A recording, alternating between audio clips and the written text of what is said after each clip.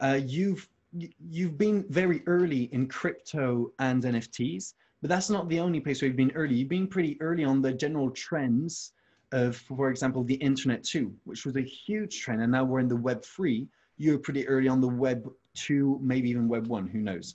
So, do tell us a little bit. How do you find yourself always being so early on these opportunities?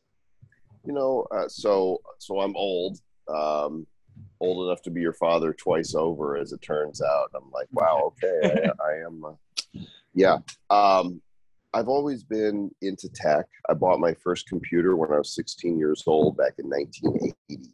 I was a Radio Shack Model 1 computer, and, and I was dialing into bulletin board services on my coupler modem at 300 baud in 1980. So I've been in the online world now for over 41 years, and I like to play with the toys. I'm just I'm a I'm a kid, you know. It all I, part of my bio is eternal 12 year old because I like mm. to play and I'm curious, and so when you're curious about all the new technology and you play with it, sometimes you find something that you really like that works. Mm. Uh, and then in, in invariably as you become proficient in it, people ask you, how did you do that? And you become the expert in it. And so I've done that again and again. You know, I built my first website back in 1995. I built a game site with a partner in 1997, sold it to Yahoo.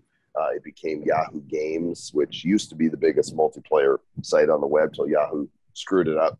Um, and I built I built iPhone apps. I've blogged. I've done internet marketing, social media marketing, um, uh, affiliate marketing, video, live video, podcasting. I, I, I pretty much I dabble and I play with what's interesting to me. And right now, that is uh, and it's been for the last four and a half years cryptocurrency and um, and more recently NFTs.